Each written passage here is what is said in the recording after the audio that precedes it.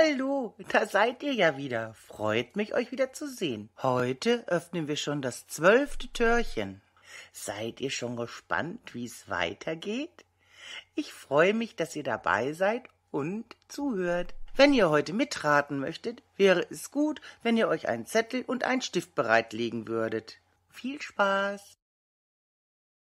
Es war kurz vor sieben und somit Zeit, um aufzustehen, obwohl ich mich am liebsten noch mal umgedreht hätte.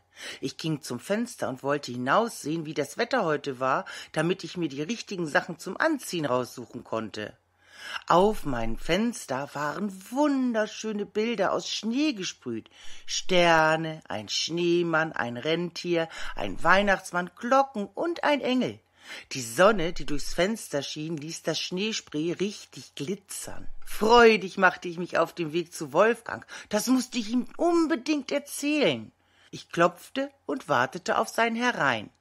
Als ich in sein Zimmer kam, stand Wolfgang vor seinem Fenster und sah sich die Bilder an, die er auf seiner Fensterscheibe hatte. Denn auch sein Fenster war besprüht worden. Cool, sagte ich. Ich wollte dir gerade von meinen Bildern berichten und sie dir zeigen. Willst du sie dir mal ansehen? Wir gingen erst gemeinsam in mein Zimmer und dann in den Flur, um zu sehen, ob es einen neuen Brief gab. Und es gab einen. Diesmal wieder ordentlich im Briefkasten und das Fähnchen war wieder nach oben geklappt. Auch standen heute alle Sachen wieder an seinem Platz. Der Weihnachtskranz hing ordentlich wieder an der Tür. Ich nahm den Brief und gab ihn Wolfgang. Er las ihn vor. Gütneiden, sis iginitz. Guten Morgen, ihr beiden, auf Türkisch. Ich konnte fast gar nicht schlafen, weil ich so ein schlechtes Gewissen hatte, wegen der Kugel, die kaputt gegangen ist. Ich war ganz erleichtert, als ich euren Brief gelesen habe, dass eure Mama nicht mehr böse mit mir ist. Mir ist ein Stein vom Herzen gefallen. Ich habe mich so sehr darüber gefreut, dass ich mir spontan überlegt habe, eure Fenster mit weihnachtlichen Motiven zu verschönern. Ich hoffe, es gefällt euch. Mir ist dann noch mal das mit dem Versprecher durch den Kopf gegangen und mir kam dann eine Idee. Habt ihr vielleicht auch Lust mal zu reimen? Ich habe euch den Text aufgeschrieben und ein paar Worte weggelassen. Diese sollt ihr nun finden und sie an der passenden Stelle einsetzen. Dann legt ihr mir den Brief wieder zurück in meinen Kasten. Ich hoffe, es macht euch Spaß. Hier nun der Text. Wenn wir im Wald spazieren gehen, können wir viele Tiere ein Hirsch mit großem Geweih, eine kleine Maus, die huscht,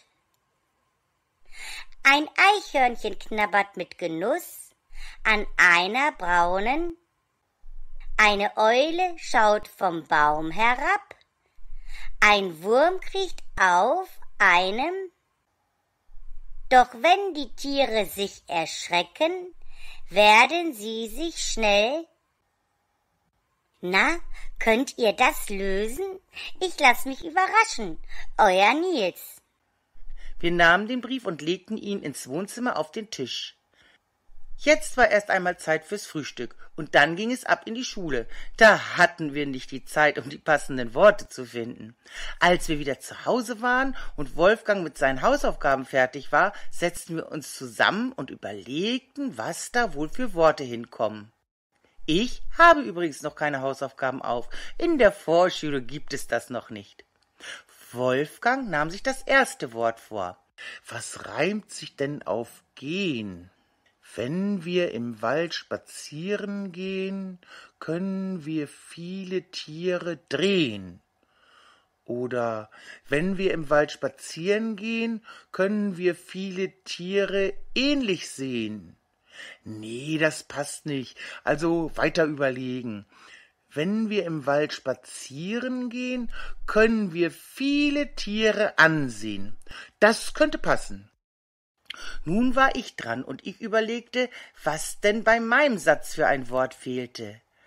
Einen Hirsch mit großem Geweih, eine kleine Maus, die huscht herbei. So könnte es sein. Oder gibt es noch was anderes?